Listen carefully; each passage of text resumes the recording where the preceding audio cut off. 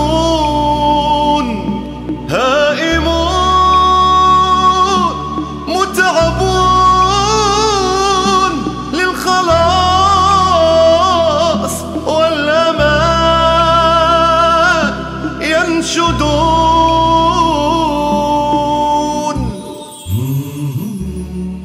سلاح الإمام المهدي عليه السلام. يبدو أن الإمام المهدي عليه السلام يأتي بنوع جديد من السلاح والتكتيك. تكون لديه الأسلحة المتقدمة والتكتيكات الحديثة أمامه تقليدية لا فحوى لها ولا جدوى منها. ففي الأحاديث إشارات واضحة رغم رمزية التعابير بمقدار ما كانت الكلمات والعقول القديمة تتحمل المضامين غير المعروفة التي لا تتحملها الكلمات والعقول المتطورة اليوم. فقد ورد في وصف سيفه أنه يعرف أعداء الله فيقتلهم ويعرف أنصار الله فيدعهم ولعل السلاح المميز بين غير المؤمن والمؤمن. ليس سيفا. إنما نوع من السلاح غير الموجود حتى اليوم.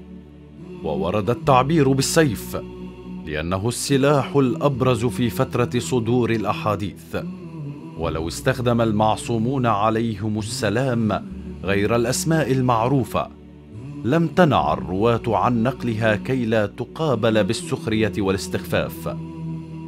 وورد في وصف سيوف أنصاره ولهم سيوف من حديد. لا كسيوفكم إذا ضرب به أحدهم جبلا قطه. والظاهر أنه ليس سيفا. وورد في كيفية انتصاره أنه إذا ظهر توقفت الأسلحة فلم تتحرك في وجهه. ولعله إشارة إلى أنه يستخدم نوعا من السلاح يعطل كل الأسلحة الموجودة. أو يجمد كل الآليات المتحركة. وورد في وسائل انتصاره يسير أمامه الرعب مسيرة شهر وأنه يحكم بالرعب وينصر بالرعب. وهذا التعبير يشير إلى أن سلاحه أو تكتيكه شيء جديد مخيف ينهار أمامه القادة فلا يحسنون غير الاستسلام. وورد في وسائل الأعلام التي تعلن عن ظهوره أنه في صبيحة ليلة الظهور يجعل النور عمودا بين الأرض والسماء فتشرق الأرض بنور ربها كالنهار فيعلم الجميع أن الكون يتمخض عن ظاهرة كبرى ويهتف جبرائيل في الهواء. ألا قد ظهر المهدي بمكة فاتبعوه. فيسمع صوته الجميع ويعلمون أن ظاهرته انطلقت وستأخذ طريقها إلى الانتشار.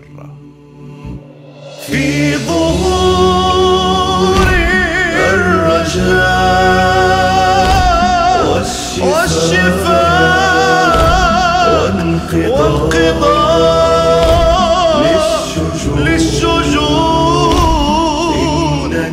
إنني راحة